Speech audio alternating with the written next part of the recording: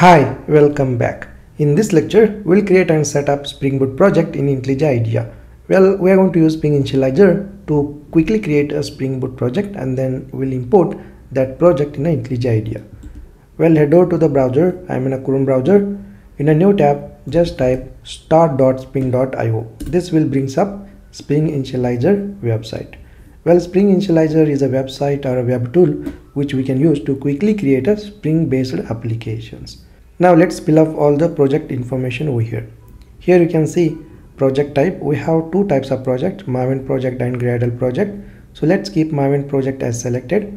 And language, so here we have three JVM languages, Java, Kotlin and Groovy. We are going to use Java. So let's selected Java as it is and here we are going to use spring boot version 2.6.7 well spring boot team basically recommend this stable and latest release of spring boot version so let's keep this version as selected as it is. And go to project metadata section over here and let's fill up all this project metadata information.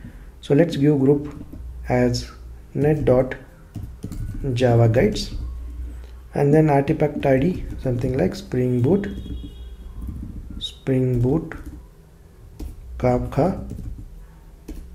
tutorial. Okay and name is same as artifact. So let's keep name as spring boot kafka tutorial. Description as demo project for spring boot and kafka. Package name as net.javaguide.springboot alright and packaging as a jar and java version 11 so you can use a java version as 8 11 17 18 as per the java installation on your machine but i am going to use?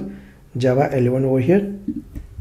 Next go to the dependency section and click on add dependencies over here and just go ahead and select spring web dependency.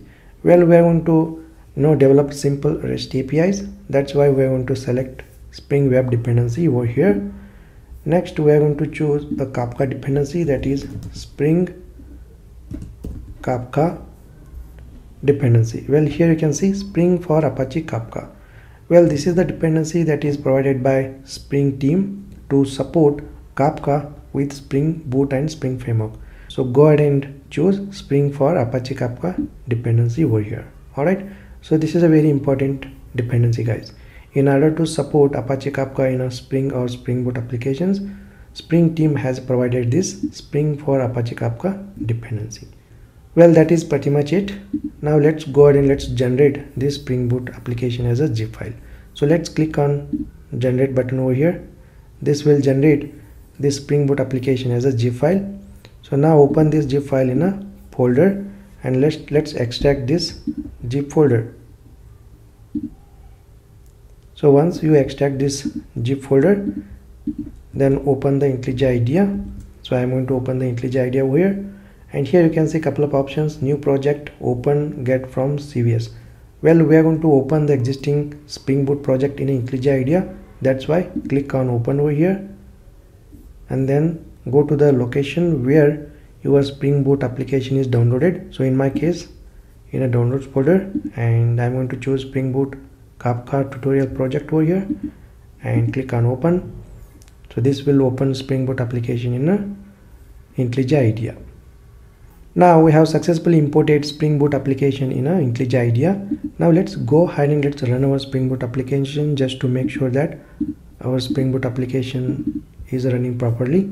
So I'm going to open this main entry point class. From here we are going to run the Spring Boot application right? And there we go. Our Spring Boot application is up and running on embedded Tomcat server on port 8080. It means that we have successfully you know generated Spring Boot application from Spring Initializr and then we have imported in IntelliJ IDEA and then we ran our Spring Boot application and we can able to see that Spring Boot application is successfully running on port 8080. Alright, great. I will see you in the next lecture.